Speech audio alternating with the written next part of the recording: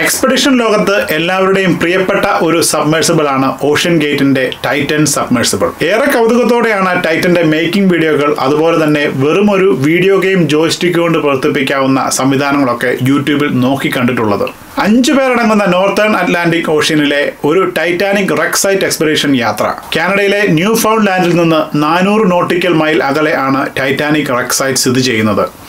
വീണ്ടും ഒരു ദുരന്തത്തിനു കൂടി ഈ സ്ഥലം സാക്ഷിയാകുമോ? ഇനി ഏതാനും മണിക്കൂറുകൾ മാത്രം സർവേ ചെയ്യാനുള്ള ഓക്സിജനെ ടൈറ്റനിൽ ഉള്ളൂ. ലോകത്തിലെ ഏറ്റവും ശക്തരായ rescuers U S Navy Coast Guard ഒപ്പം കാനഡ കോസ്റ്റ് ഗാർഡും മിലിറ്ററിയും ഈ റെസ്ക്യൂവിൽ പങ്കെടുക്കുന്നുണ്ട്. ഇനി യാത്രയെക്കുറിച്ച്. പ്രൈവറ്റ് എക്സ്പെഡിഷൻ കമ്പനിയായ ഓഷ്യൻ ഗേറ്റ് ഫോക്കസ് ചെയ്യുന്നത് ഡീപ് ഓഷ്യൻ എക്സ്പ്ലോറേഷൻ ആണ്. ടൈറ്റാനിക് സൈറ്റ് എക്സ്പ്ലോറേഷനിൽ പങ്കെടുക്കാൻ അഞ്ചു പേരടങ്ങുന്ന സംഘം യാത്ര തുടങ്ങുന്നു. ന്യൂ ഫൗണ്ട് ലാൻഡിലെ സെന്റ് ജോൺസിൽ നിന്നും നാനൂറ് നോട്ടിക്കൽ മൈൽ യാത്ര ചെയ്ത് ടൈറ്റാനിക് അവശിഷ്ടങ്ങൾ സ്ഥിതി ചെയ്യുന്ന സ്ഥലത്ത് എത്തുന്നു. ഞായറാഴ്ച രാവിലെയാണ് ടൈറ്റാനിക് സബ്മേഴ്സിബിൾ മദർഷിപ്പിൽ നിന്നും നീറ്റിലിറക്കി കടലിന്റെ അടിത്തട്ടിലേക്ക് ഡൈവ് ആരംഭിക്കുന്നത്. പതിമൂവായിരം അടി ആഴത്തിൽ സ്ഥിതി ചെയ്യുന്ന ടൈറ്റാനിക്കിൽ എത്താൻ രണ്ട് മണിക്കൂറാണ് എടുക്കുക. ടൈറ്റന് പുറം ലോകവുമായി കമ്മ്യൂണിക്കേറ്റ് ചെയ്യാനുള്ള ഒരേ ഒരു സംവിധാനം മദർഷിപ്പായ പോളാർ പ്രിൻസിലേക്ക് അയക്കുന്ന ടെക്സ്റ്റ് മെസ്സേജ് മാത്രമാണ്. ഡിസെറ്റ് ആരംഭിച്ചു കഴിഞ്ഞ് ഒന്നേ മുക്കാൽ മണിക്കൂർ കഴിയുമ്പോൾ തന്നെ ടൈറ്റനുമായുള്ള സകല കോണ്ടാക്ട്സും പോളാർ പ്രിൻസിന് നഷ്ടമാകുന്നു. ടൈറ്റനിൽ ഉള്ളത് ഓഷ്യൻ ഗേറ്റ്സ് ഫൗണ്ടറും സിഇഒയുമായ സ്റ്റോക്ക് റഷ് ഇദ്ദേഹത്തെ പല യൂട്യൂബ് വീഡിയോകളിലൂടെയും നമുക്ക് പരിചയമുള്ളതാണ്.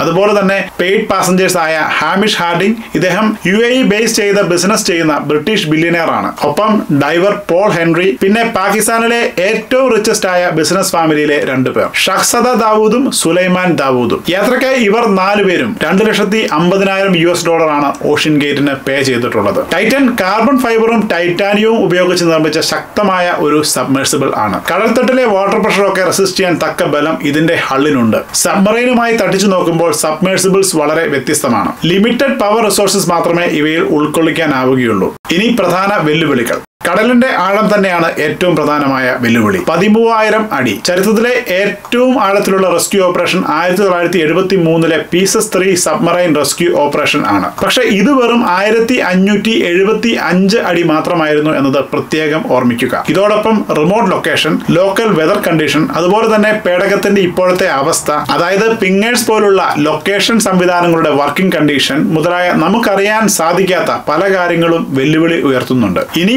അടുത്ത ഏതാനും മണിക്കൂറുകളിൽ ഈ പേടകം കണ്ടെത്താൻ സാധിച്ചാൽ തന്നെ ഇത്രയും ആഴത്തിൽ നിന്ന് ടൈറ്റനെ ലിഫ്റ്റ് ചെയ്യാനുള്ള യാതൊരു സംവിധാനങ്ങളും കണ്ടെത്തിയിട്ടില്ല എന്നതാണ് സത്യം. യു എസ് ന്യൂക്ലിയർ സബ്മറൈനുകൾക്ക് എണ്ണൂറ് അടി മാത്രം ഡിസൈൻ ചെയ്യാനേ സാധിക്കുകയുള്ളൂ. കൂടുതൽ താഴ്ന്നാൽ വാട്ടർ പ്രഷർ മൂലം ഇവ പൊട്ടിത്തെറിക്കാനുള്ള സാധ്യത വളരെ കൂടുതലാണ്. സ്പെഷ്യലൈസ്ഡ് സബ്മറൈൻസും യു എസ് വികസിപ്പിച്ചിട്ടുണ്ട്. പക്ഷേ ഇവയുടെ മാക്സിമം ഡിസൈൻ കപ്പാസിറ്റി രണ്ടായിരം ഫീറ്റ് മാത്രമാണ്. കഴിഞ്ഞ വർഷം മെസ്സൈ സംവിധാനത്തിലെ തകരാറ് മൂലം ഇതേ പേടകത്തിൽ നിന്ന് രണ്ട് മണിക്കൂർ കോണ്ടാക്ട് നഷ്ടപ്പെട്ടിരുന്നു.